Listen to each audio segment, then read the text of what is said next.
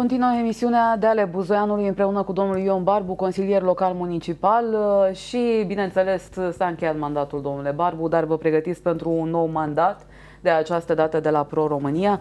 Mai vorbim despre politică, dar vorbim și despre problemele oamenilor. Întreabă cineva, domnule Barbu, de ce întârzie facturarea și trimiterea facturilor de la Electrica? Știți cumva? Nu știu. Electrica, dacă mă înșel, facturează la Ploiești așa știam eu. Uh, nu cred că ar trebui să ne uh, plângem prea tare că la un moment dat tot vom primi factura. Uh, ne-ar bucura dacă factura nu ar fi, ne-ar speria, ci ar fi una, până la urmă, din punctul meu de vedere, acceptabilă ca buget. Adică așa am vrea, nu că...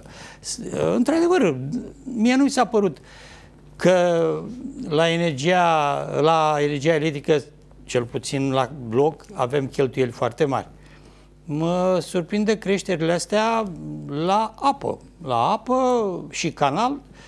Evoluția, știți destul de bine că pe următorii 5 ani va fi într-un trend ascendent cu creșteri unele de 20, 5, 10%, dar nu se va termina mai bine de 5 ani de aici încolo. Avem pe cineva la telefon. Bună seara, sunteți în direct, vă ascultăm. Să rămână, doamna Magda, bună seara, domnul consilier. Domnul consilier, dacă Doamne ajută, domnul Toma nu o să mai fie primarul acestui oraș. Orașul Buzău, ce șansă va avea să refacă sistemul de încălzire centralizată? Pentru că eu sunt uh, posesorul de centrală de apartament. Locuiesc în micro 14. Dar cu mare drag, dacă ar merge acel sistem centralizat, m-aș reconecta. Pentru că sistemul de încălzire uh, individual mi se pare o, o soluție de compromis sau de moment. O seară bună. Seară bună și dumneavoastră. Da. Mulțumim pentru intervenție. Deci... Sistemul centralizat de încălzire la Buzău nu a fost gândit rău.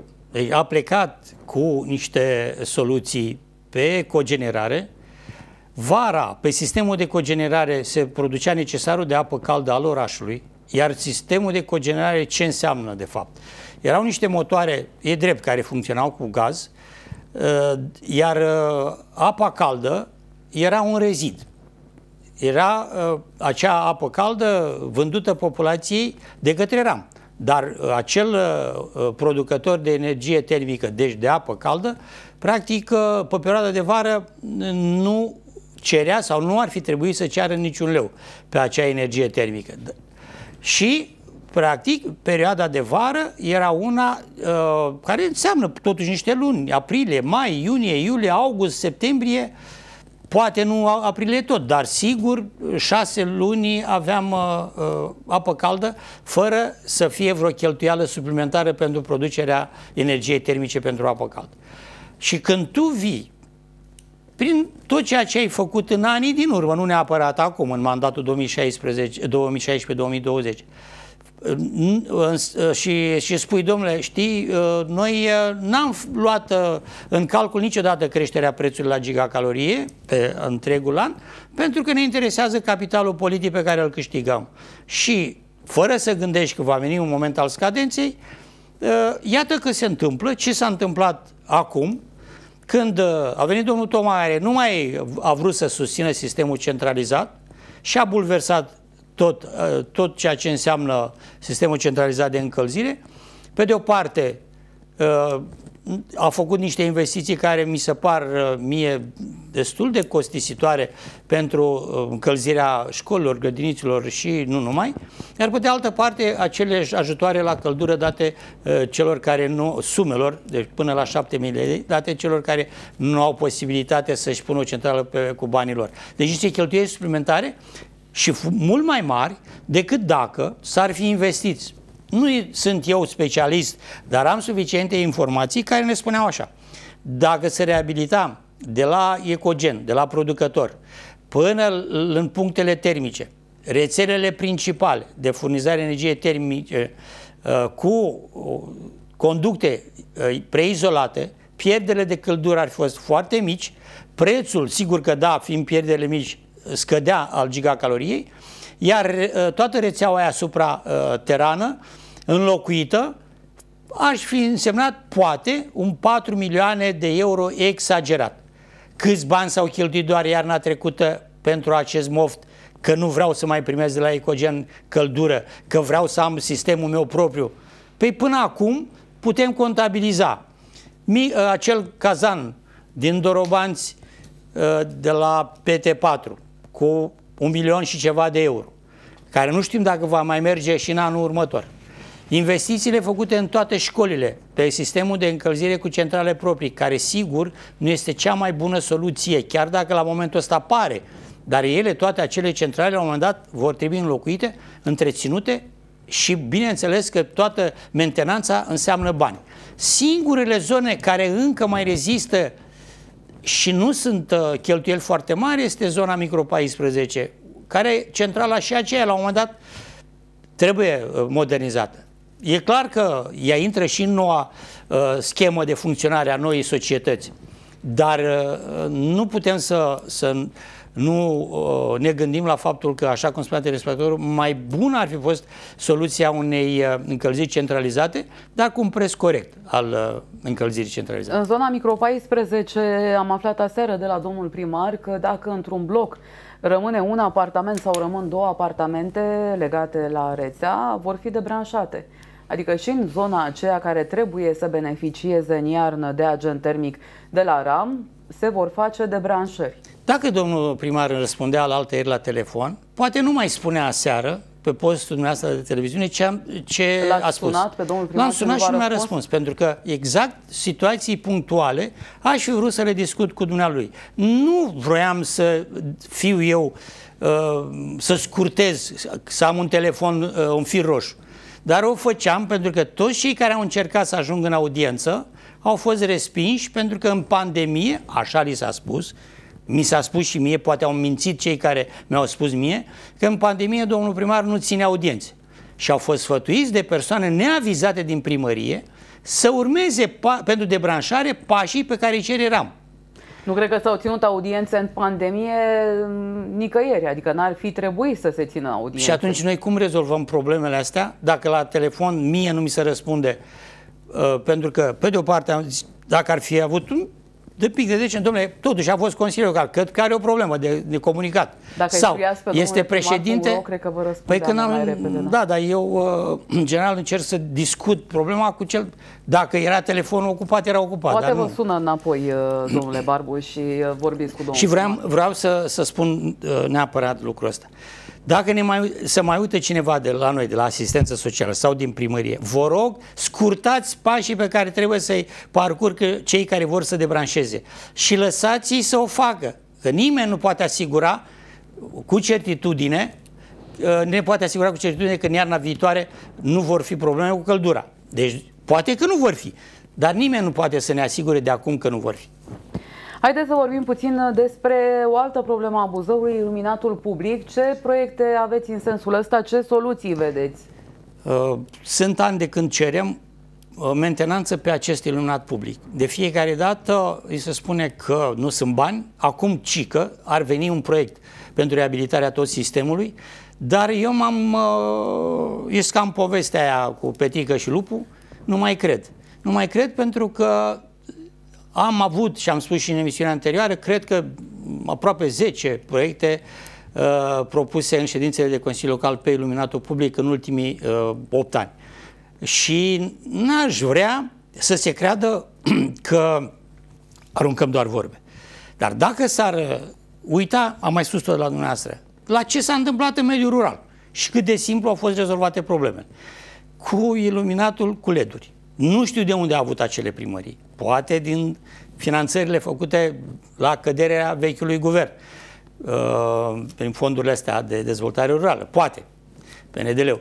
Poate că erau proiecte uh, care aveau multă vechime acolo și trebuia finanțate. Dar dintr-o dată, în mediul rural, iluminatul public este ok.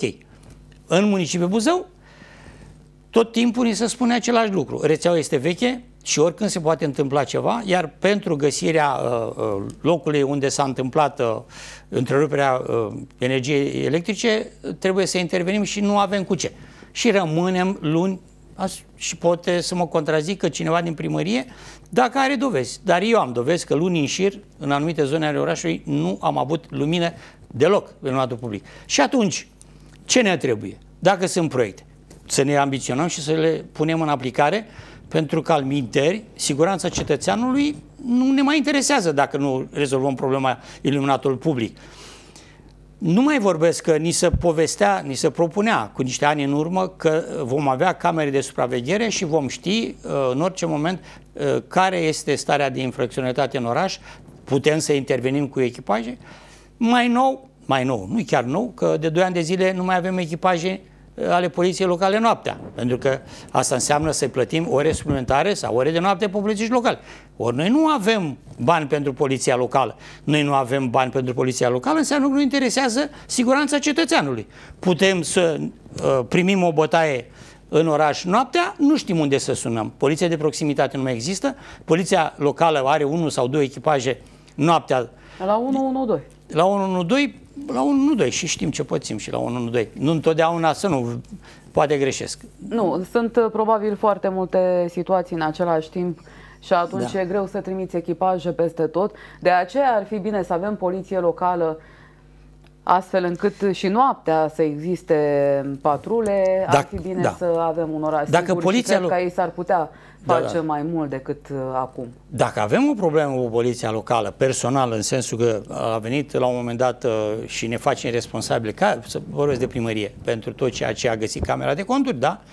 Dar tot așa de bine trebuie să ne gândim că tot poliția locală este înființată pe o lege. Iar legea aia spune că putem să asigurăm pe partea asta pe, program, pe contracte, deci nu poliție cu funcționari de stat, ci pe, uh, cum îi spune, poliție contractuală, putem să asigurăm posturi câte vrem în oraș. Și tare m-aș bucura să nu se mai abordeze problema de către conducerea primăriei că acolo să aruncă bani cu nemiluita fără rost, poate să fie aruncând într-adevăr bani cu nemiluita fără rost atunci când punem polițiștii locali să facă pe, ta- pe taxatorii în autobuze, punem poate poliția locală atunci când uh, niște obiective pe care noi ni le-am fixat în anumite zone. Și dau exemplu doar unde s-a mm, păzit o statuie în cimitir o perioadă de timp de poliția locală, foarte bine. Trebuie să luăm măsuri de descurajare a celor care fac uh, tot felul de abuzuri sau fură. Dar ce ne facem atunci când cerem, până la urmă, sprijin ca cetățenii orașului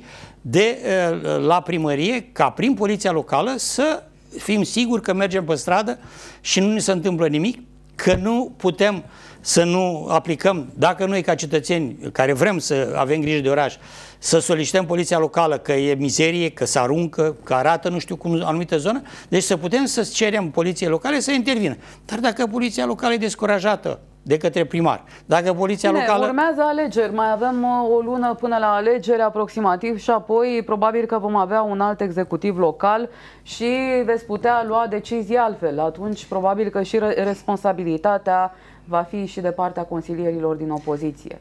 Sper ca în momentul în care se va constitui un, consiliu, un nou consiliu local, toți cei care vin cu proiecte să poată să fie ascultați. Și proiectele au fost proiecte bune care nu au fost trecute doar pentru că au fost inițiate de opoziție. Acest mod de abordare a lucrurilor nu sunt în interesul cetățeanului, indiferent ce argumente ni s-ar aduce. Bun. Un telespectator spune că în micro 14 apa caldă trebuie să curgă foarte mult ca să devină caldă, deși locuiește, spune telespectatorul, la parter. În punctele termice există niște pompe de recirculare care ele din ce știu eu, nu funcționează non-stop, iar pe rețea, până la blocul respectiv, dacă nu sunt consumatori în uh, aval, în amonte, e clar că cetățeanul respectiv este cel care trebuie să golească conducta de apă aia rece care s-a acumulat până a deschis robinetul și de-abia după aceea, dacă sunt convertizoare în anumite puncte termice, adică pompe care pornesc în momentul în care scade presiunea, de-abia după aceea să ajungă și apă caldă. Și e clar că este încă un motiv pentru care mulți dintre buzoieni au cerut să-și asigure prin centrala apropie apa caldă și celelalte uh, servicii de căldură și uh, atunci când au dorit, ca să aibă confortul necesar. Un telespectator întreabă dacă știți când se vor toaleta copacii de pe strada Patriei. Toaletarea copacilor, cred că e o problemă pe care nu știu cum să o mai abordăm, pentru că mulți dintre cei care sunt mai bătrâni s-au uscat. Uh, am văzut în ultima perioadă că se mai udă spațiile verzi și nu numai, asta e un lucru bun, dar uh, e clar că în general, și nu cred că e o noutate, se actualizează primăvara sau în perioada când nu există verdeață, ei când sunt în repaus, când arborii respectivi. Deci iarna sau primăvara până la intrarea în vegetație. Și mai spune un telespectator că sunt foarte multe probleme cu transportul în municipiu și întreabă de ce nu avem transport în zona industrială între orele 22-23. Nu știu de ce nu e, normal ar trebui să fie, pentru că ați văzut cum se abordează în ultima perioadă problema transportului local, N-a mai devenit, nu mai e preocupare foarte mare uh, pentru transportul local în interesul buzuienilor, care sunt cu adevărat contribuabilii majoritari la Transbus, ci se abordează problema în sensul transformării uh, Transbus într-un operator uh, județean care să asigure transportul uh, cetățenilor din tot județul și spre oraș, spre municipiu și retur. Repet, pentru, din punctul meu de vedere, pentru a nu știe câtă oară, mie nu mi se pare deloc în regulă lucrul ăsta. Vrem să asigurăm pentru cetățenii municipiului Buzău transport corect. Dacă avem cu ce, să mergem și în județ. Dar întâi să asigurăm transportul așa cum cer buzoienii, pentru că ei contribuie la bugetul local, așa cum cer buzoienii 24 de ore din 24. Am venit cu tot felul de soluții pentru județ, dar nu ne-am gândit deloc să răspundem tuturor solicitărilor celor din municipiu. Domnule Barbu, uh, nu mai avem timp din păcate, dar vă mai aștept în emisiuni viitoare să mai vorbim despre proiecte. Poate veni și cu domnul Ionescu, pentru că Hai. sunteți o echipă și vorbim împreună despre ce vă propuneți pentru următorii patru ani. Vă mulțumesc pentru prezență și vă doresc succes! Mulțumesc! Vă mulțumesc și dumneavoastră pentru că ne-ați urmărit. Urmează jurnalul Campus TV imediat. Seară bună, la revedere!